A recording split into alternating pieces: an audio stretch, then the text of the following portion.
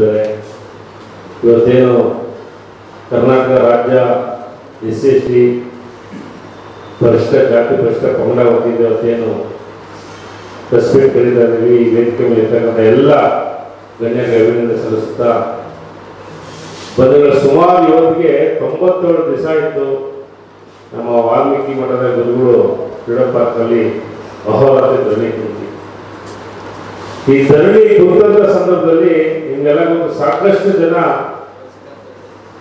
ರಾಜಕಾರಣಿಗಳು ಸುಳ್ಳು ಭರವಸೆ ಮತ್ತು ಸುಳ್ಳು ಮಾತುಗಳು ಆಡಿ ಅವರ ಧರಣಿನ ಏನಾದರೂ ಮಾಡಿ ನಾವು ಈ ಧರಣಿನ ಮುಗಿಸಂತ ಪ್ರಯತ್ನ ಮಾಡಿದ್ರು. ಆದರೆ ಪ್ರಯತ್ನಕ್ಕೆ ಯಾವುದೇ ಕಾರಣಕ್ಕೂ ಒಳಗಾದಂಥ ನಮ್ಮ ಗುರುಗಳು ತೊಂಬತ್ತೇಳು ದಿವಸ ನಿರಂತರವಾಗಿ ಇವತ್ತು ಫ್ರೀಡಮ್ ಪಾರ್ಕ್ ಧರಣಿ ಮಾಡ್ತಾ ಇದ್ದಾರೆ. ಎಸ್ ಸಿ ಎಸ್ ಟಿ ಸಮುದಾಯದ ಎಲ್ಲ ವರ್ಗದ ಜಾತಿ ನಿರ್ತಕ್ಕಂಥ ಆ ಸಮುದಾಯದ ಮಕ್ಕಳ ಒಂದು ಏಳಿಗೆಗೆ, ಮುಂದಿನ ಅವರ ಒಂದು ಪೀಳಿಗೆಗೆ ಅನುಕೂಲವಾಗಿ ಅಂತೇಳಿ ಇವತ್ತು ರಾಜನ ಮಠದಿಂದ ರಾಜನಾಗಿ ಬಂದು ಇವತ್ತು ತೊಂಬತ್ತೇಳು ದಿನ ಆಯ್ತು ಆ ಗುರುಗಳು ಒಂದು ಸತ್ಯಾಗ್ರಹ ಸತ್ಯಾಗ್ರಹ ಧರಣಿ ಮಾಡಿ, ಅದರ ಒಂದು ದುಃಖ ಹೇಳಿದ್ರೆ ಇವತ್ತು ಸುಮಾರು ಐವತ್ತೊಂದು ಜನ S C, S T M L ಎಗಳಿದ್ದೀರಾ ಐವತ್ತೊಂದು ಜನ S C, S T M L ಎಗಳು ಬಹುಶಃ ನಿಮ್ಮಲ್ಲಿ ಏನಾದರೂ ಒಂದು ಸ್ವಾಭಿಮಾನವನ್ನು ತಿದ್ದಿದ್ರೆ ಇಲ್ಲಿ ತನಕ ಆ ಗುರುನ ಆ ಒಂದು ಫ್ರೀಡಮ್ ಪಾರ್ಕ್ ಅಲ್ಲಿ ಬೀದಿಲಿ ಕುಣಿಸ್ತಿರ್ಲಿಲ್ಲ ಯಾಕಂತಂದ್ರೆ ಇವತ್ತು ಅದೇ ಬೇರೆ ಸಮುದಾಯದ ಒಂದು ಸ್ವಾಮೀಜಿ ಈ ರೀತಿ ಧರಣಿ ಕುಂತಿದ್ರೆ ಕ್ಯಾಬಿನೆಟ್ ವಿಧಾನಸೌಧದಲ್ಲಿ ಆ ಸಮುದಾಯದ ಎಲ್ಲ ಎಂ ಎಲ್ ಬಟ್ಟೆ ಬಿಚ್ಚಿ ಕುತ್ಕೊಂಡ್ಬಿಡ್ತಿದ್ರು.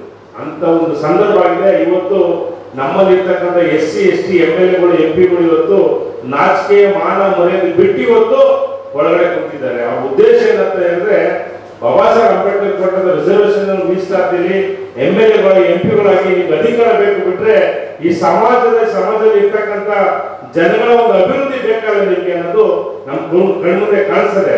ಹಾಗಾಗಿ ಇವತ್ತು ತೊಂಬತ್ತೇಳು ದಿನ ಆದರೂ ಕೂಡ ರಾಜ್ಯ ಸರ್ಕಾರದಿಂದ ಮಾನ್ಯ ಮುಖ್ಯಮಂತ್ರಿಗಳು ತಮ್ಮ ಬೇಡಿಕೆ ಕೇಳಕ್ಕೆ ಬರೋಷ್ಟು ನಿಮಗೆ ಒಂದು ತಾಳ್ಮೆ ಅಂತ ಹೇಳಿದ್ರೆ ಎಂತ ಒಂದು ಈಗ ಒಂದು ಅವಮಾನ ಅಂತ ಹೇಳಕ್ಕೆ ಹೇಳಕ್ ಇಷ್ಟಪಡ್ತೀನಿ.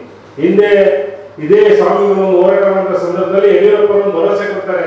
ನಮ್ಮ ಸರ್ಕಾರ ಬಂದಕ್ಕೆ ನಿಮ್ಮ ಏನು ಬೇಡಿಕೆ ಈಡೇರಿಸು ಅಂತ ಹೇಳ್ತಾರೆ. ಅದರಿಂದ ಕಾಂಗ್ರೆಸ್ ಸರ್ಕಾರ ಸಿದ್ದರಾಮಯ್ಯ ಭರವಸೆ ಕೊಡ್ತಾರೆ.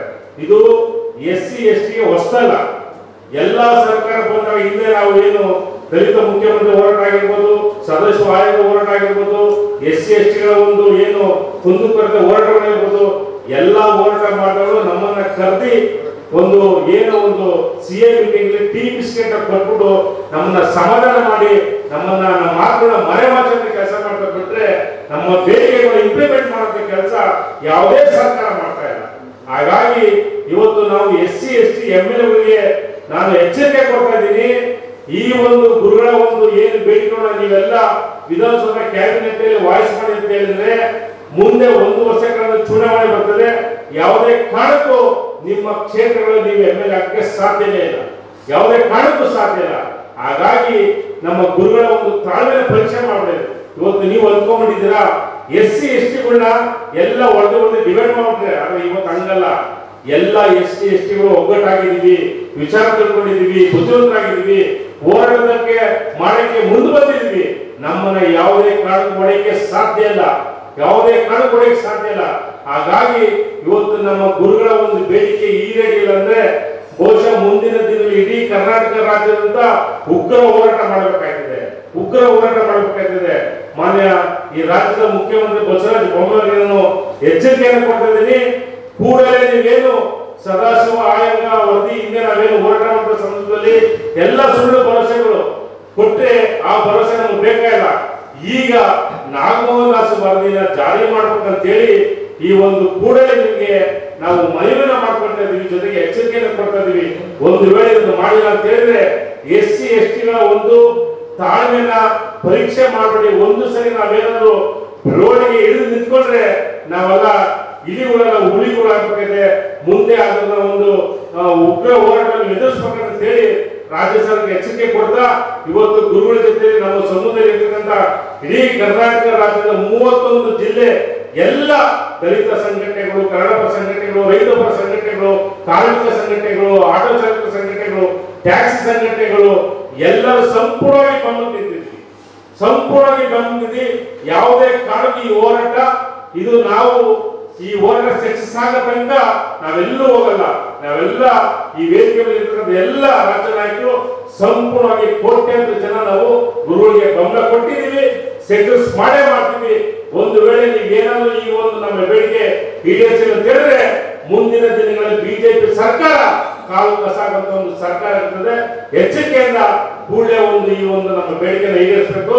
ಅದ್ರ ಜೊತೆಗೆ ನಾಳೆ ಇಪ್ಪತ್ತನೇ ತಾರೀಕು ನೂರ ದಿನ ಒಂದು ನೂರ ಜನರ ಒಂದು ಪ್ರತಿಭಟನೆ ಇಡೀ ರಾಜ್ಯದ ಮೂವತ್ತೊಂದು ಜಿಲ್ಲೆಯಲ್ಲಿರ್ತಕ್ಕಂಥ ಎಲ್ಲ ತಾಲೂಕು ಕಚೇರಿಗಳಲ್ಲಿ ಒಂದು ಶಾಂತಿ ರೀತಿ ಪ್ರತಿಭಟನೆ ಮಾಡಿ ಮನವಿ ಕೊಡುವಂತ ಒಂದು ಕಾರ್ಯಕ್ರಮ ಹಮ್ಮಿಕೊಂಡಿದ್ದೀವಿ.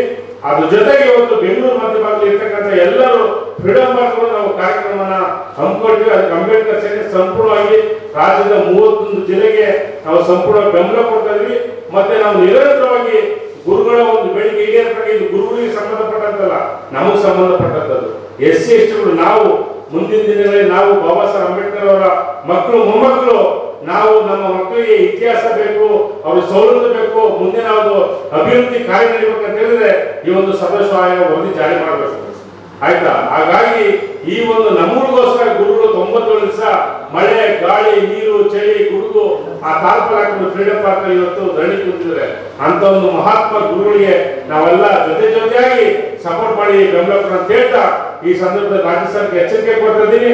ಕೂಡಲೇ ಸದಸ್ಯ ಸರಿ ನಾಲ್ಕು ವರದಿನ ಜಾರಿ ಮಾಡಬೇಕು ಅಂತ ಹೇಳಿ ಸರ್ಕಾರಕ್ಕೆ ಒತ್ತಾಯ ಮಾಡ್ತೀನಿ. ಜೈ ಭೀಮ್, ಜೈ ಅಂಬೇಡ್ಕರ್